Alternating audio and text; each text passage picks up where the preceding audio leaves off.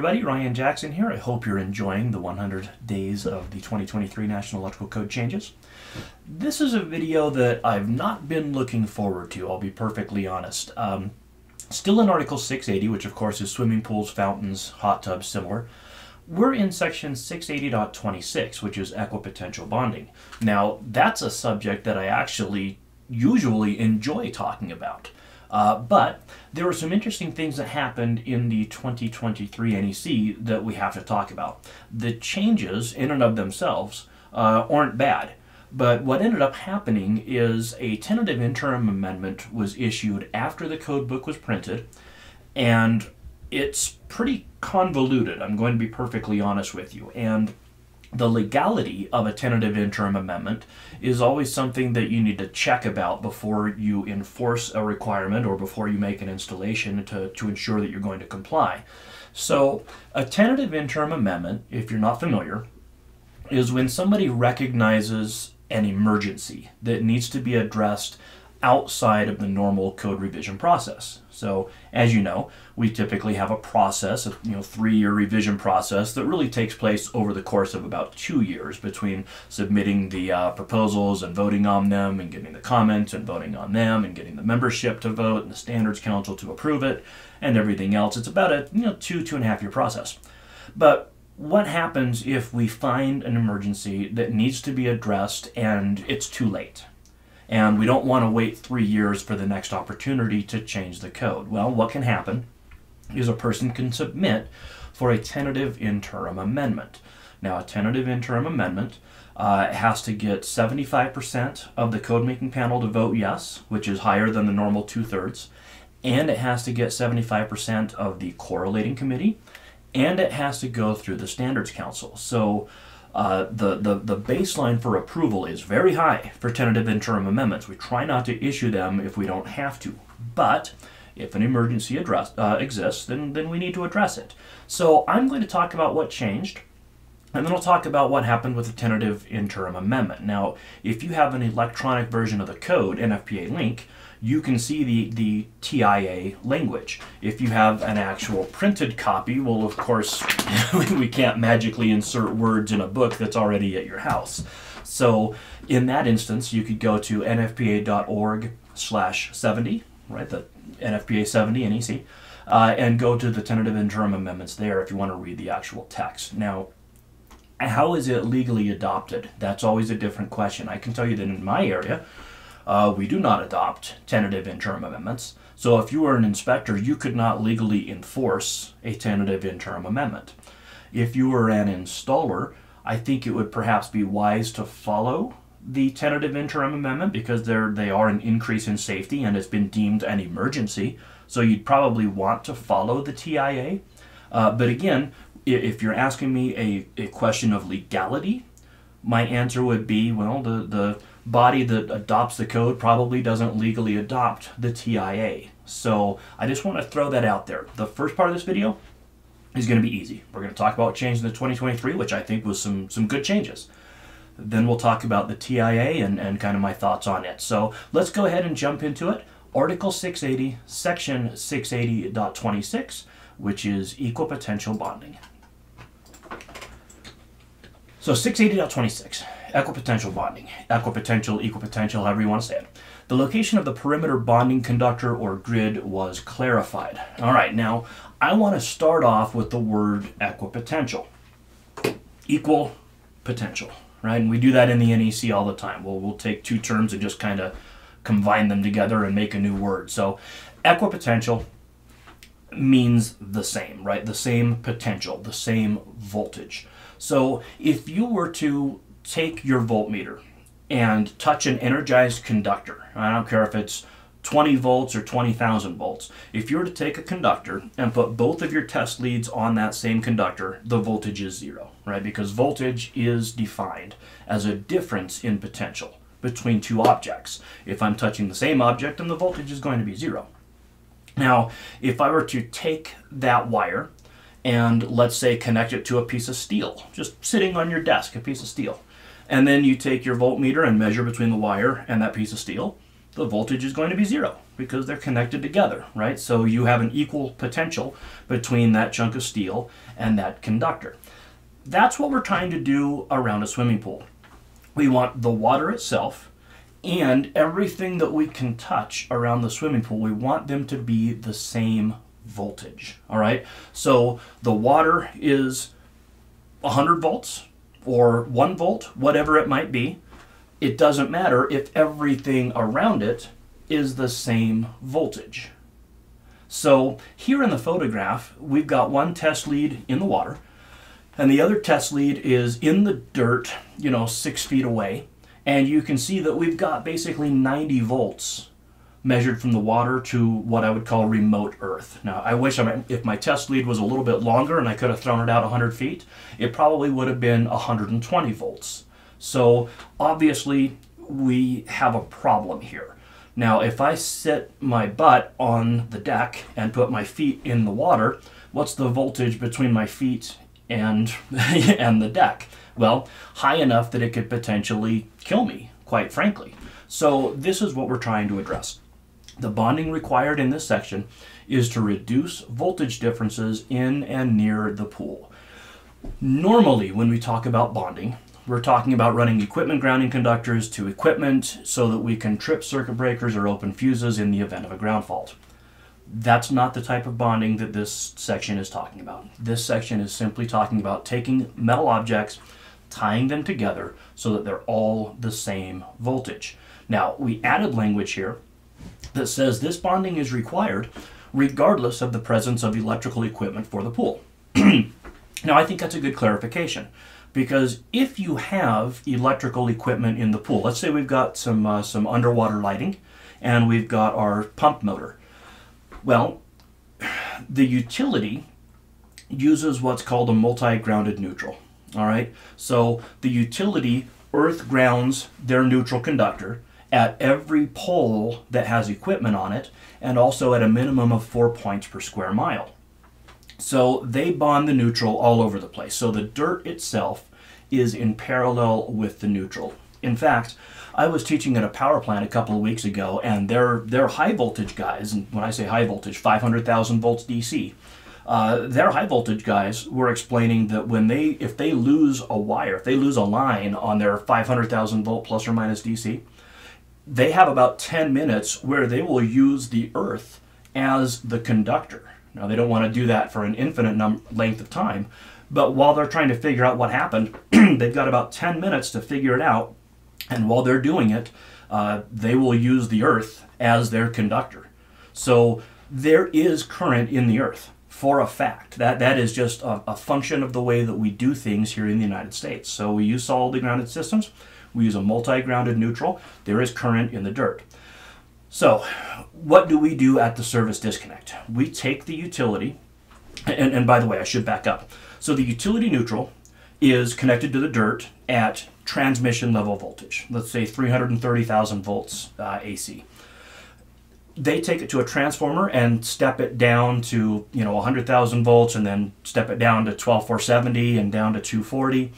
At all of those transformers, they bond the primary neutral to the enclosure and they bond the secondary neutral to the transformer enclosure.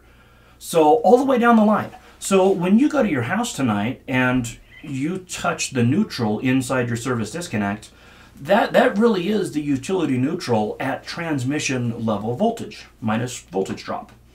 So we take that neutral and we connect it to the service disconnect. And then we take all of our equipment grounding conductors and we connect those to the service disconnect. And then we take all those green wires, those equipment grounding conductors, and we connect them to the metal parts of the pool lights and the swimming pool pump motor, and we throw them in the water. So you essentially have taken the utility neutral and put it in the water. All right, so if you have electrical equipment in your pool, you will have voltage in your pool. That is a fact, and you pretty much can't get rid of it. The only thing you can do is bond everything around the pool and make it all the same voltage so that it's not dangerous. Now, the clarification here says this bonding is required whether you have electrical equipment for the pool or not, and for good reason. Remember, I said how the utility can use the dirt itself as a conductor. And whether they're trying to or not, that dirt is in parallel with the neutral. So you don't have to have any electricity associated with your pool to have voltage in your pool. Your pool is in the dirt. The dirt has voltage. Folks, you're, you're going to have voltage in your swimming pool water. There's no, there's no way around it. So the bonding in this section is intended to minimize the difference between two objects that you can touch. The water and the diving board. The diving board and the ladder the water and the deck around the swimming pool, the pool itself and the observation deck, right? All of those things we want to be the same voltage. So 680.26b says, look, the parts specified in B1 through B7 must be bonded together with a solid conductor that's not smaller than 8 gauge. Okay, so here in the picture, we are showing this uh, metal fence here and you can see that it has a bonding jumper connected to the fence. So that fence is bonded to the rebar in the swimming pool and it's bonded to the rebar in the pool deck around the swimming pool and the ladder and the handrails and the observation deck, the diving board, all of that stuff. All right, that way, if I was in the water and I grabbed the fence, I wouldn't get shocked. If the fence is at zero volts and the swimming pool is at 100, well, then I'm going to get 100 volts through me. But if I can tie the water to the fence and make them both 100 volts, well, then touching the water and touching the fence, it's not 100 volts, it's zero. So we need to bond all of these things together with an 8 gauge conductor. Now, in this photograph here, this fence is a little bit farther than the, from the pool than would require bonding, but they decided to, to put some extra safety in place and they went ahead and bonded it regardless. So the parts in B1 through B7 had to be bonded together. That's where you're going to get the pool structure itself, and you're going to get the deck around the pool where you walk, and you're going to get all of the other metal objects. We're not going to cover all those. We're just going to talk about what changed. There's important language here too that says the bonding jumper is not required to extend to any panel board or grounding electrode or any other equipment that's not specifically mentioned in this section. Folks, we're not trying to trip breakers here. We're not trying to open fuses. We're just take we're just trying to take metal objects and tie them together. That's it. So you don't have to run this to a ground rod. You don't have to run it to a panel board or anything else. Uh, here in the photograph, they've taken all of the lights and everything else and, and ran them back to a central location and tied them all together here. That's one way to do it. Okay, so what do I have to bond together? Well, B1 you're going to guess is the pool structure itself, the rebar in the pool. Item two is the perimeter surface or the deck, and this is where all the changes happen. So it says, look, the perimeter surface, the deck of a pool, extends from the water outward three feet horizontally, and it includes both paved and unpaved surfaces. All right, so perfect example right here between the hot tub and the swimming pool. If you have your butt sitting on that deck and your feet in the water, you better make sure that that voltage is the same. Because remember, your resistance to electric shock is your skin. And once you get your skin wet, your resistance plummets down to nothing. So lower voltages can yield greater currents, which means a greater shock. Doesn't take that much in a swimming pool to kill or injure a person. So we want to make sure they're all the same voltages. If a permanent wall that's at least 5 feet high reduces the perimeter space to less than 3 feet. Then only the side of the wall nearest the pool is considered a perimeter surface. So you've got your pool and it's right next to your house. Well, maybe I've only got a foot and a half worth of deck. Does that mean I need to run a wire under the house and into the living room? but, well, obviously not, right? So we're just worried about things that we can touch. So if you've got a wall that, that stops the deck before you've measured three feet, well, then, then so be it. The perimeter surface must be bonded to the other items indicated in 680.26b at a minimum of four uniformly spaced points around the pool. And the perimeter surface must consist of the parts specified in A, B, or C. So A, B, and C give you three different methods on how you can do the deck bonding. So looking at the picture here, we have used option A, which is the steel reinforcing mesh around the pool, like you might find in, in any uh, concrete slab.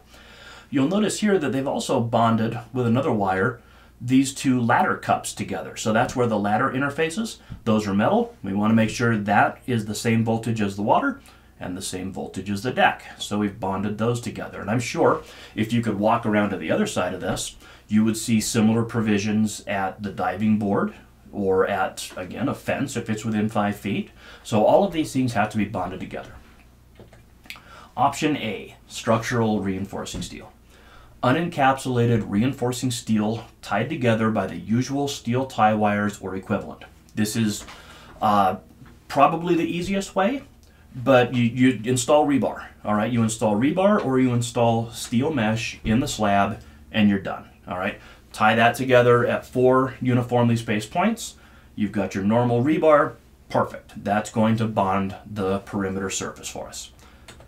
Option B is a copper ring. Now, this option was added, I think, back in 2011, if I'm not mistaken, and it's been somewhat controversial ever since.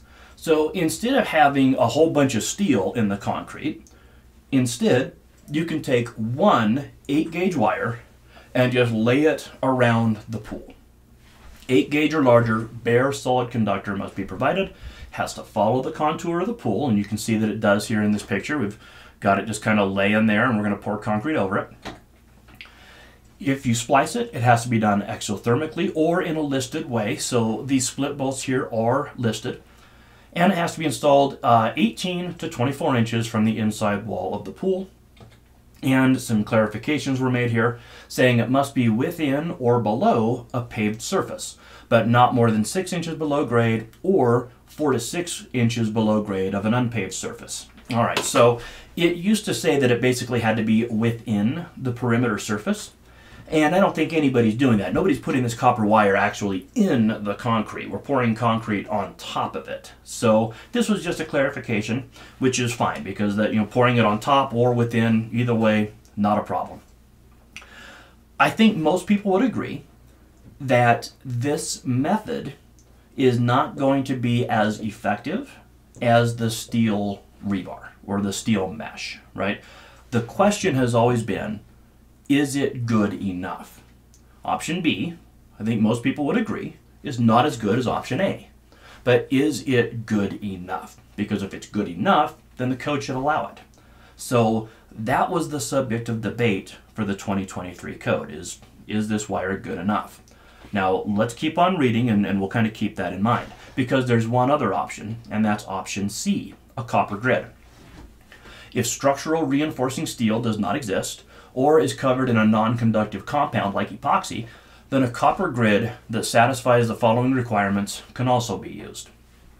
Copper grid has to be at least 8 gauge and be arranged in a 12 inch by 12 inch pattern of, pattern of conductors plus or minus 4 inches. Has to follow the perimeter surface of the pool and extend outward at least 3 feet. Now, this is not something that you're going to you know, spliced together in the field. You, you buy this as a roll, all right? You, you go to wherever you buy your pool stuff, you buy a roll of this copper mesh, and you roll it out around the swimming pool. Uh, from my understanding, you can get it in a three foot variety or you can get it in a five foot variety. So you're going to roll that around your pool. If you splice it, it has to be with listed splicing methods or exothermic welding, which again, we're not going to splice it because we're not going to build it. We're going to buy it in a roll and it has to be within or below a paved surface, but not more than six inches below grade, or four to six inches below grade of an unpaved surface. All right, so just kind of clarifications talking about whether or not the perimeter surface bonding has to be in the concrete or below the concrete. Simple enough, right? That's what happened in the 2023 code. Towards the end of the revision process, uh, people started to become aware that there and I'm going to use careful language here. I'm going to I'm going to turn into lawyer mode here. There were allegedly uh, some incidents that happened that were that were alleviated by changing the single conductor method to the copper mesh method. All right. So again, the question has never been is the single conductor equivalent to a whole bunch of conductors or a whole bunch of rebar? It's obviously not equivalent. The question has always been is it good enough? And testing showed that perhaps that single conductor method is not good enough. And the results of that test didn't come out until it was a little bit too late in the code revision process. So they submitted for a tentative interim amendment saying, look, we did some research and we found that this is not adequate. And we have documented incidents of people that are getting shocked and can't use their pool.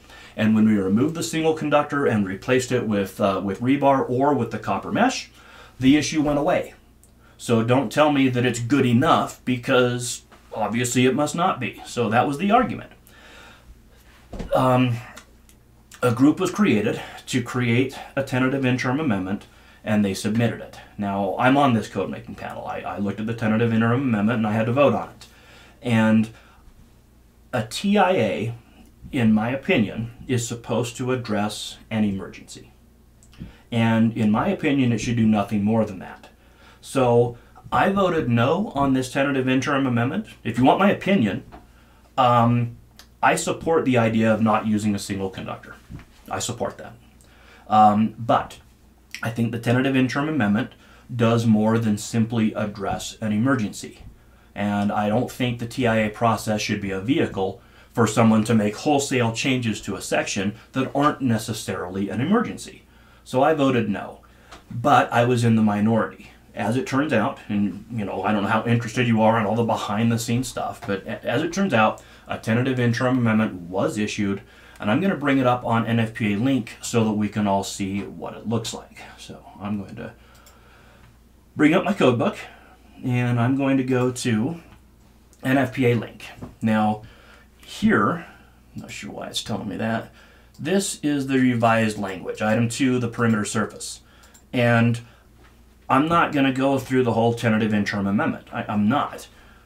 But I'm just going to show you that it is far more complex than it was in previous versions of the code. And maybe that's a good thing. I don't know. You, you could argue that. But it's definitely more than we had in previous versions. So if you're an inspector and you're in an area that does a lot of swimming pools, well, you might want to kind of have a staff meeting and figure out, hey, how are we going to enforce this? What can we legally do? Uh, because it's tricky. I don't think you can legally enforce things if they're not legally adopted. So get with your city attorney perhaps and find out how your area legally adopts it. If you're do if you're a swimming pool contractor, get with the cities, see what they're going to enforce. You know, um, ultimately, what the TI does, what the TIA does, is it says you either need to use the structural metal, the rebar or steel mesh, or you need to use the copper grid it pretty much removes the option of just using one conductor around the swimming pool. So there you go. I don't know how to make this video any less convoluted than that. That's kind of where we're at. So I hope this answers any questions that you had about what happened with 680.26. Um, we'll definitely talk more about it for the 2026 revision process. Make no mistake there. but uh, for right now, that's what we have. So we will see you on the next video, and I hope you have a great day.